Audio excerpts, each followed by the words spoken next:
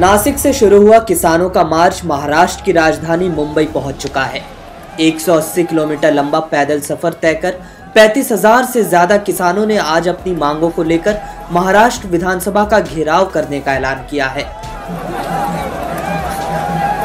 भारतीय किसान संघ के बैनर तले आयोजित इस मार्च में राज्य के सभी क्षेत्रों से किसान शामिल हुए हैं। किसान सरकार से कर्ज माफ़ी और अपनी फ़सलों के लिए उचित समर्थन मूल्य की मांग कर रहे हैं।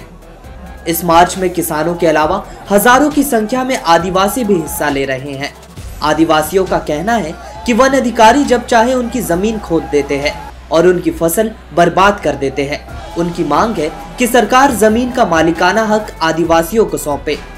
किसानों का यह लॉन्ग मार्च महाराष्ट्र की फडणवीस सरकार के लिए सिरदर्द साबित हो सकता है। महाराष्ट्र विधानसभा में बजट सत्र चल रहा है। इस दौरान राज्य की कृषि विकास दर में गिरावट का मुद्दा भी ज़ोर शोर से उठाया जा रहा है। फ़िलहाल महाराष्ट्र सरकार के मंत्रियों ने किसानों से बातचीत शुरू कर दी है। वामपंथी संगठनों की अगुवाई में हो रहे आंदोलनकारी किसानों के मार्च को शिवसेना, मनसे और आम आदमी पार्टी ने समर्थन का ऐलान कर दिया है। अगले साल महाराष्ट्र में विधानसभा चुनाव भी होने हैं। ऐसे में बीजेपी सरकार भी किसानों का गुस्सा मोल नहीं लेना चाहेगी।